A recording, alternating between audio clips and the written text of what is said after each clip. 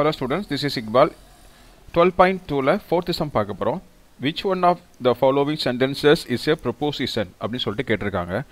Proposition அப்படின்னா ஒரு statement true இல்லைனா ஃபால்ஸ் அப்படின்னு நம்மளால் அதை சொல்ல முடியும். அந்த மாதிரி இருந்துச்சுன்னா மட்டும்தான் ப்ரொப்போசிஷன் பாக்கி எதுலேயும் எதுவுமே வந்து ப்ரொப்போசிஷனில் வராது. சரியா? ஸோ அந்த ஃபஸ்ட்டு ஸ்டேட்மெண்ட் பாருங்கள் four plus seven equal to twelve அப்படின்னு கொடுத்துருக்காங்க. இது ஃபால்ஸ் நம்ம பார்த்தோன்னே சொல்ல முடியும். அப்போ இது வந்து என்னது? ப்ரொபோசிஷன்லாம் வரும்.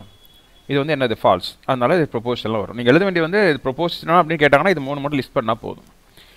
அப்புறம் வாட் ஆர் யூ டூயிங் இது வந்து கொஸ்டின் இது வந்து நம்ம ட்ரூ ஆஃப் ஃபால்ஸோ நம்ம சொல்ல முடியாது. அதனால இது ப்ரொபோசிஷனில் வராது. செகண்ட் ஒன் பார்த்தீங்கன்னா தேர்ட் ஒன் பார்த்தீங்கன்னா three power N is less than or equal to eighty one இது வந்து கண்டிஷனல் ஸ்டேட்மெண்ட் இது வந்து என்னது? கண்டிப்பாக இது ப்ரொபோசிஷன் தான். இப்போ three power one equal to நம்மளுக்கு என்ன வரும்? த்ரீ இது கண்டிப்பாக என்னது? Less than or equal to eighty one தான். த்ரீ பவர் டூ நைன் இதுவும் less than or equal to eighty one தான். த்ரீ க்யூப் டுவெண்ட்டி செவன் இதுவும் less than or equal to eighty one தான். Three power four eighty one less than equal to eighty one தான். Three power five போட்டிங்கன்னா என்ன ஆகும்? இந்த statement வந்து false ஆயிரும். அப்போது N equal to one to four வரைக்கும் அது ட்ரூவாக இருக்கும்.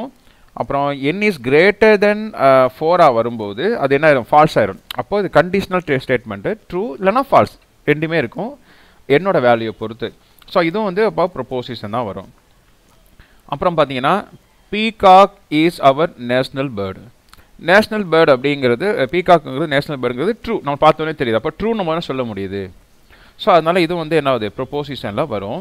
How tall this mountain is fifth one இது வந்து ரொம்ப ஆச்சரியப்பட்டு சொல்கிறது இந்த மவுண்டன் எவ்வளோ உயரமாக இருக்குது அப்படின்னு சொல்கிறோமா அப்போ கண்டிப்பாக ஸ்டேட்மெண்ட் கிடையாது. அதனால இது ப்ரொப்போசிஷனில் வராது. ட்ரூ ஃபால்ஸ் தான் சொல்ல முடியாது ஓகே